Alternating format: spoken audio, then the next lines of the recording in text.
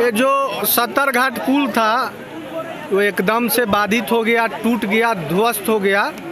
पुल के बगल में जो पिच था, वो पूरा धस गया। अब ना कोई केसरिया जा सकता है, ना फैजुलापुर कोई केसरिया से आ सकता है।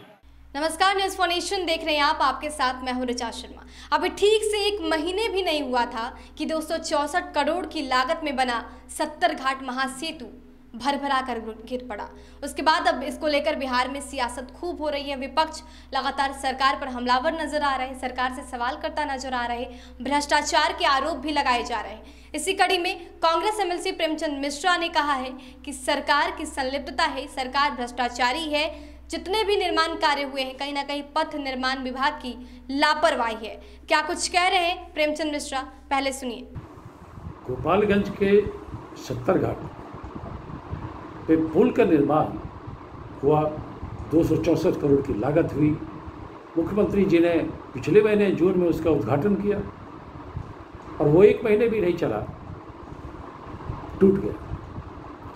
क्या यह भ्रष्टाचार नहीं तो और क्या है? कांग्रेस का स्पष्ट मानना है राज्य में जितने भी कंस्ट्रक्शन सेक्टर के काम हो रहे हैं पुल पुलिया के काम हो रहे हैं, पथ निर्माण विभाग की लापरवाही और भ्रष्टाचार में संलिप्तता की वजह से हर निर्माण में गुणवत्ता से समझौता किया गया और यह पुल, जो एक महीना भी नहीं चला, दो सौ चौंसठ करोड़ रुपए पारी में चले गए। क्या इसकी कोई जवाबदेही तय करेंगे नीतीश कुमार जी? कांग्रेस का स्पष्ट मानना है कि तत्काल, बिना किसी विलंब के, पथ निर्माण मंत्री नंद किशोर यादव को मंत्रिपरिषद से वो बर्खास्त करें और पूरे मामले की जाँच करें। यह नहीं चलेगा। सरकारी धन का इस तरह से लूट और कमज़ोर निर्माण, एक के बाद एक कमज़ोर निर्माण लगातार हो रहा और ये घटनाएँ, ये बताने को पर्याप्त है, इन निर्माण कार्यों में कहीं न कहीं भ्रष्टाचार हुआ है।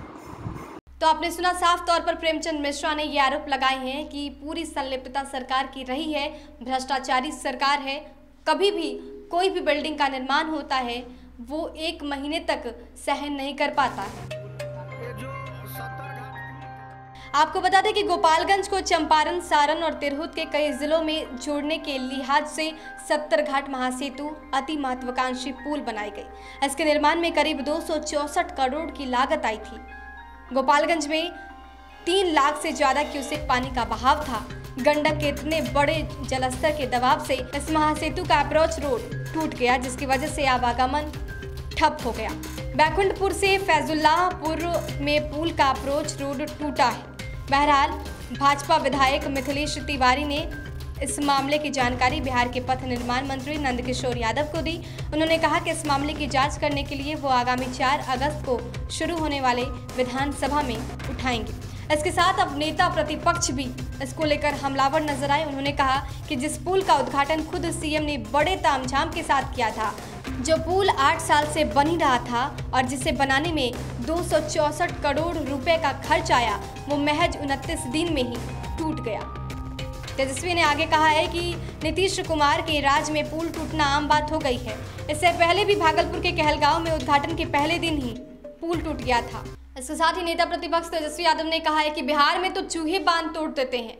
आदमी पर क्या यकीन किया जाएगा? तो साफ़ तौर पर अब विपक्ष भी हमलावर नज़र आ रहा है। पुल के अप्रोच रोड टूटने को लेकर अब बिहार की जो सियासत है, वो जोरों पर हो रही है। देश और दुनिया की तमाम अपडेट्स के लिए हमारे साथ बने रहिए और देखते रहिए न्यूज़ फोनेशन नमस्कार।